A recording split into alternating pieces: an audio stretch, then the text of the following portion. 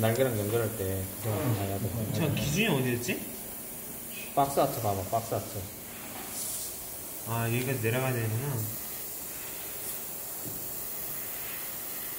가다 말고, 하- 아, 가다 말고 하는 게 아니라 쭉 끝까지 나가, 그냥 칠할 때. 한 번에. 아, 그런 식으로. 천천히. 아크릴 바로 안 마르니까 조심하고. 네, 거기 잠깐 스톱. 여기 봐봐.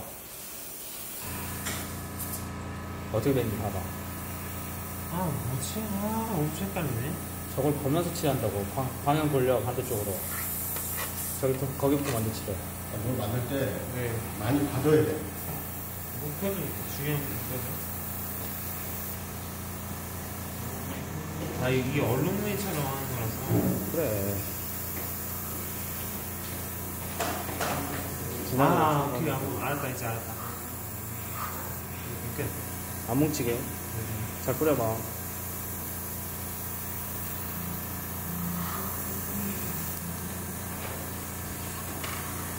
칠할 때 경계면부터 먼저 칠하고 작업해야 돼. 네.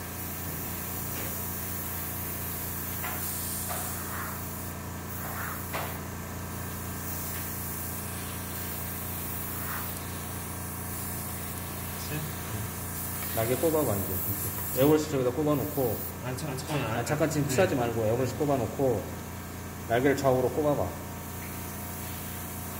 칠하는 거 손에 안 묻게 조심하고, 끼워봐, 이제. 휴지 빼야 될 것 같은데요? 빼, 이제 지금 빼고요. 어차피 칠다 했으니까. 어. 쭉, 당겨 빼. 오케이.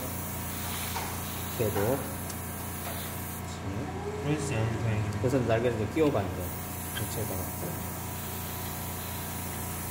휴지랑 상관없어요. 어, 그다음에 반대쪽. 네. 쟤도 한번. 그렇습니다. 그러면 이 녹색이 어디까지 칠해져야 하는지가 보이지, 이제. 그렇죠? 그거 보면서 칠해, 이제. 네. 동체하고 날개 색깔이 연결돼야 합니다.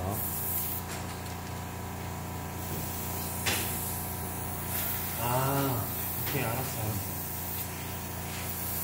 아. 시작이 힘든 날개 빼고 다시 시작하면 되니까.